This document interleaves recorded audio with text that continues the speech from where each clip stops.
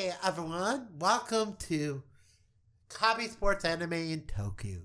And today we're celebrating Halloween with this video, being my Halloween video, and I decided on a Toku show that you might like. It's not really Halloween, but the American version is, and that is the Big Bad Beetleborgs. Three typical average kids like to read their comic book, Madagascar game Beetleborgs, Beetleborg.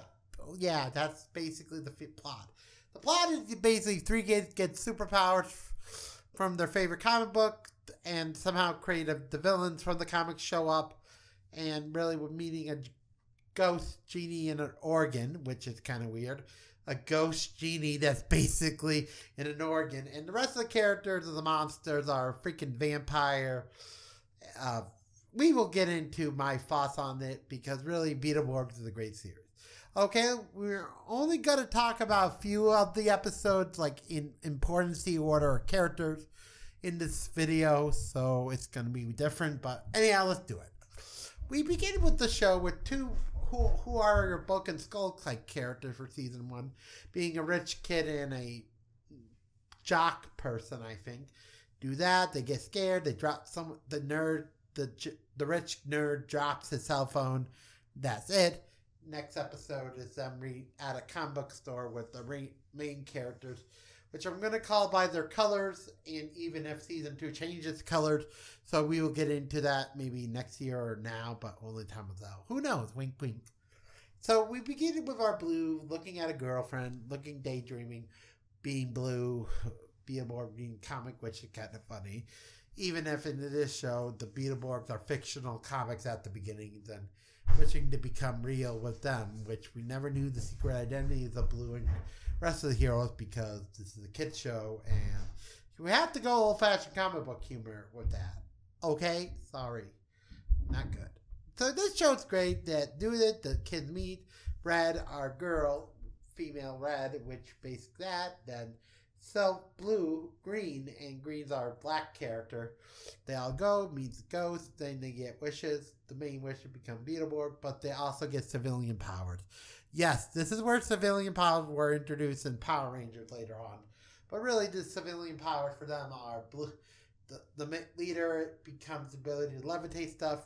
The girl can now do super strength. And green, it's just super speed, and they're mostly by an action for with things the bright backward knuckle pose for red for the girl. The green is snap fingers. Blue is just focusing, which is kind of funny, but anyhow, that's not the point. Really, the part that makes it Halloween based is the monsters. The monsters include a vampire, a werewolf who's Wolfie, and they all have an E with them, like Frankie for the van- Frankenstein like character, the mummy, which is like the only one who doesn't, which mums, I think is his name. Don't get me wrong, we kind of really remember. So basically that, and there's a ghoul in season two, which I will explain in a moment. So yeah, so that's basically the monster. Then they meet other characters like the the, the green the green members, brother, uh, family members being the owner comic book store as a plot point briefly for a little bit.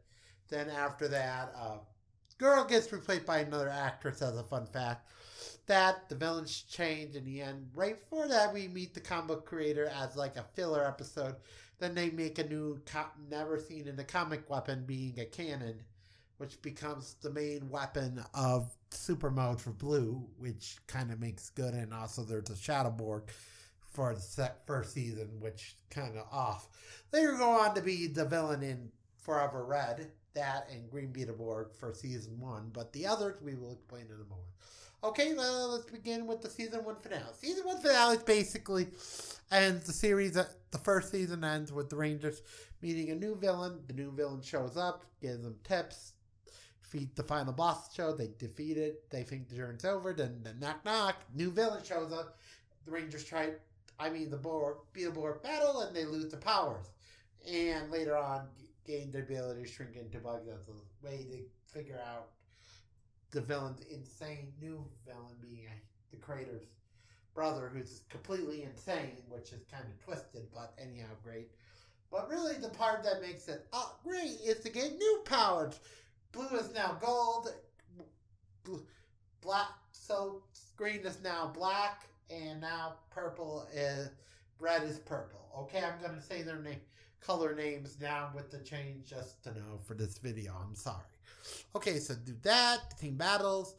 The battle's a villain for a few episodes, and they learn there's like a proto script they read about some knights battle. The villains find the good coins. The bad guys, good guys have to now find the rest of the coin, astral coin to get the astral saber that summons a mech. But we will get into that in two seconds. Meet new members being a butterfly, a dragonfly, a red scarab, and a electric biker.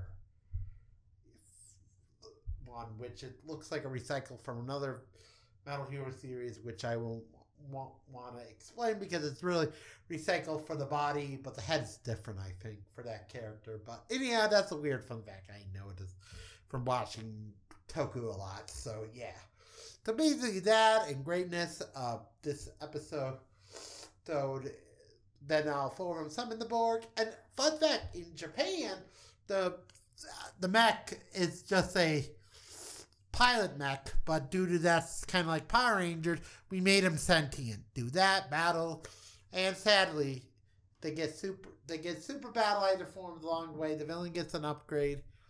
Basically, the series ends with the introduction of a Super Zord, second Super mech, an evil one. They stop it. They befriend it at the end, and the series evolved on a cliffhanger that really ended with a happy ending, but really still cliffhanger for the villains. I wish they did a crossover with the old series, even if they're the same characters. So that would be weird, but that could work as a finale better than what they got, in my opinion. Hope you liked the video. A comment down below if you like Beetleborgs and like it as a Power Ranger esque show. Hope you like it. And happy Halloween, everyone. Mostly Halloween for the monster elements. So yeah. Happy Halloween, everyone. Just doing a Halloween thing, Toku thing because Beetleborg is kind of a Halloween show because of the monster subplot. Yes. Happy Halloween. This is Coleman saying bye bye for now.